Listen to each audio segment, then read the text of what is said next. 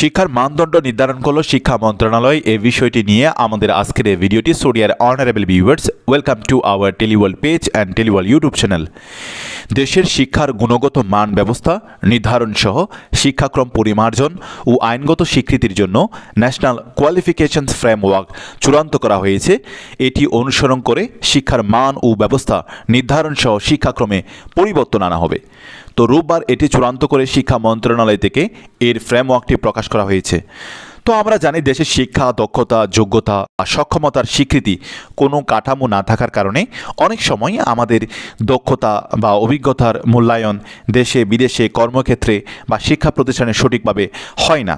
তো বৈশ্বিক মানের সঙ্গে ভারসাম্যের সীমাবদ্ধতা দূর করতে বাংলাদেশ সরকার বিষয়টি অনুধাবন করে প্রয়োজনীয় পদক্ষেপ গ্রহণ করেছে এবং দু হাজার একুশ সালে তিন জুন শিক্ষামন্ত্রী ডাক্তার দীপুমণির সভাপতিত্বে শিক্ষা মন্ত্রণালয়ে এই সংক্রান্ত এক বৈঠক করা হয়। এবং এরপর এটির রূপরেখা তৈরিতে কাজ শুরু করে শিক্ষা মন্ত্রণালয়। এবং প্রধানমন্ত্রী শেখ হাসিনা দুই হাজার ষোলো সালে আন্তর্জাতিক শ্রম সংস্থা অর্থাৎ আইএলও কর্তৃক আয়োজিত আন্তর্জাতিক দক্ষতা সম্মেলনে বাংলাদেশের জন্য একটি জাতীয় যোগ্যতা কাঠামো থাকা অর্থবাসক বলে উল্লেখ করেন। তো ফ্রেমওয়ার্কের যে প্রক্রিয়া, সে প্রক্রিয়াটি যেমন হবে, তেমন শিক্ষা মন্ত্রণালয়ের কারিগরি ও মাদ্রাসা শিক্ষা বিভাগের উদ্যোগে আইএলও পরিচালিত স্কিলস দু হাজার একুশ প্রকল্পের কারিগরি সহযোগিতা ও ইউরোপীয় ইউনিয়নের অর্থায়নে তিন বছর ধরে বিএনকিউএফ প্রস্তুত করা হয় এবং সম্প্রতি শিক্ষা মন্ত্রণালয়ের মন্ত্রণালয়ের মাধ্যমিক উচ্চশিক্ষা এবং কারিগরি ও মাদ্রাসা শিক্ষা বিভাগের সমন্বয়ের মাধ্যমে বিএনকিউএফ এর কাঠামো চূড়ান্তকরণের কাজটি সম্পূর্ণ হয় এবং দু হাজার এগারো সালে আইএলও এবং ইউরোপীয় ইউনিয়নের সহযোগিতায় বাংলাদেশ সরকার কারিগরি শিক্ষার জন্য যে কাঠামো তৈরি করেছিল। তার ভিত্তিতেই বিএনকিউএফ এর কাঠামো প্রস্তুত করা হয় এবং কারিগরি শিক্ষার সেই কাঠামোটি জাতীয় দক্ষতা উন্নয়নের নীতি দুই হাজার একুশে উল্লেখ আছে। তো দুই হাজার একুশ সালে তিন জুন শিক্ষামন্ত্রী ডাক্তার দীপুমণির সভাপতিতে আহ, সভাপতিত্বে শিক্ষা মন্ত্রণালয়ের এই সংক্রান্ত এক বৈঠকে বাংলাদেশ ন্যাশনাল কোয়ালিফিকেশনস ফ্রেমওয়ার্ক চূড়ান্ত করা হয় এবং গুণগত মান ব্যবস্থা নির্ধারণ সহ শিক্ষাক্রম পরিমার্জন ও আইনগত স্বীকৃতির মাধ্যমে এটি পর্যায়ক্রমে কার্যকর করার প্রক্রিয়া চলমান রয়েছে।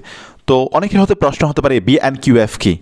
তো এটি হচ্ছে আসলে বাংলাদেশ কোয়ালিফিকেশনস ফ্রেমওয়ার্ক মূলত, অর্থাৎ আন্তর্জাতিকভাবে স্বীকৃতি একটি সম্মানিত সম্মানিত দক্ষতার মানদণ্ড বা রূপরেখা, যেখানে জ্ঞান, দক্ষতা ও সক্ষমতার উন্নয়ন শ্রেণীবিন্যাস ও স্বীকৃতিকে সর্বসম্মতভাবে কয়েকটিকে আপেক্ষিক স্তরে সমন্বয় করা হয়েছে এবং এই কাঠামোর দশটি স্তরে উচ্চশিক্ষা, সাধারণ, কারিগরি ও মাদ্রাসা শিক্ষার কার্যকর সমন্বয় ও আন্তঃসংযোগের ব্যবস্থা রয়েছে। তো ফলে কেউ চাইলে একটি শিক্ষা ব্যবস্থা থেকে আরেকটিতে তার অর্জিত জ্ঞান ও দক্ষতাকে অক্ষুণ্ণ রেখেই স্থান, স্থানান্তরিত হতে পারবে এবং এই কাঠামোটি আনুষ্ঠানিক শিক্ষা কার্যক্রমের বাইরে যেসব শিক্ষা, তার স্বীকৃতি ও জীবনব্যাপী শিক্ষার সুযোগও নিশ্চিত করবে। তো যোগ্যতা ভিত্তিক প্রশিক্ষণ, মূল্যায়ন আহ, সনদায়নের পাশাপাশি পূর্ব অভিজ্ঞতা ও দক্ষতার স্বীকৃতি এবং যোগ্যতা কাঠামো অনুযায়ী যে স্থানান্তর সে স্থানান্তরের ব্যবস্থা এতে বিদ্যমান। তো বিএনএফ বিএন কিউএফ এ যা যা আছে বা যা যা থাকবে প্রথমত বিষয় হচ্ছে কাঠামোটা। তো সাধারণ কারিগরি ও মাদ্রাসা শিক্ষার স্তরভেদে যোগ্যতার পরিমাপক এবং এক শিক্ষাধারার থেকে আরেক শিক্ষাধারায় কোন স্তর থেকে কোন স্তরে যাওয়া যাবে, তার রূপরেখা থাকবে এই কাঠামোতে। এবং এরপরে হচ্ছে জীবন ব্যাপী শিক্ষা। এখানে থাকবে আনুষ্ঠানিক শিক্ষা কার্যক্রমের বাইরে সারা জীবনব্যাপী অর্জিত যে শিক্ষা ও দক্ষতার স্বীকৃতি। এরপরে থাকবে মডুলার বা ইউনিটাইজড সিস্টেম এখানে যোগ্যতা ভিত্তিক উপকরণ তৈরি, প্রশিক্ষণ, মূল্যায়ন তারপর সনদায়ন এবং সেই সঙ্গে পূর্ব অভিজ্ঞতা ও দক্ষতার দক্ষতার স্বীকৃতি এবং যোগ্যতা কাঠামো অনুযায়ী একটি ব্যবস্থা থেকে অন্য ব্যবস্থায় গমনাগমন এরপরে হচ্ছে গুণগত মান ব্যবস্থা।